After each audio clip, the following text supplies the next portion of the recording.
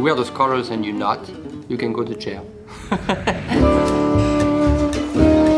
My nightmare is I'm competing and there always something goes wrong.